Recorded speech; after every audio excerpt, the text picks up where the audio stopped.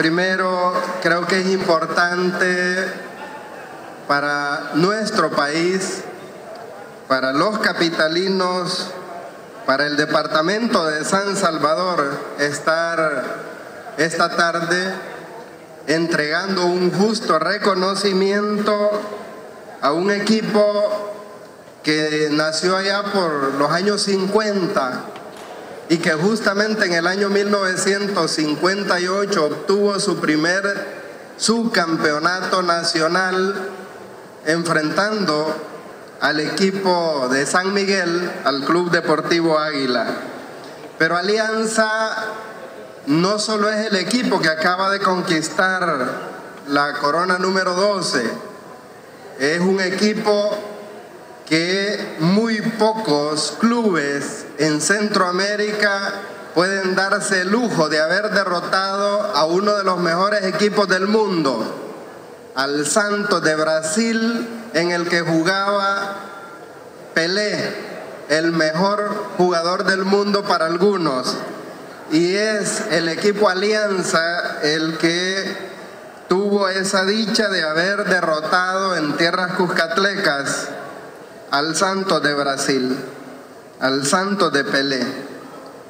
Pero el Alianza también tiene entre sus glorias, como ya se ha dicho, 12 coronas nacionales, 12 campeonatos, tiene, ha sido múltiples veces subcampeón nacional, dos veces campeón de la CONCACAF y múltiples victorias internacionales ante grandes equipos de Norte, de Suramérica y por supuesto esta victoria trascendental que ya he destacado. En la última final se ha escrito historia porque Alianza derrotó adquiriendo un partido más, una victoria como equipo invicto en la Liga Nacional de Fútbol.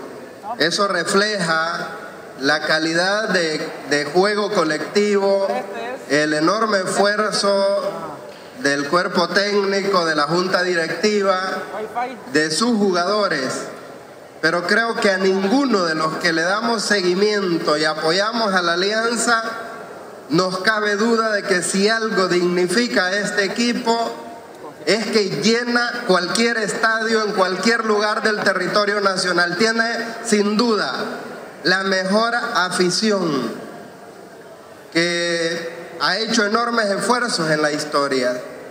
Se han metido incluso a recaudar recursos para pagar jugadores en las peores crisis económicas que el equipo paquidermo ha tenido. Creo que esta corona, sin duda, eh, es bien merecida por la junta directiva, por el presidente, por los jugadores, por el cuerpo técnico, pero también es una corona de la ultra blanca, de la fiel blanca, de todos los aficionados de San Salvador y de otros departamentos del país que quieren a la alianza, que aprecian a este equipo. Enhorabuena, felicidades a los jugadores, a la afición, al cuerpo técnico, a la junta directiva y por supuesto a su presidente. Muchas gracias, buenas tardes.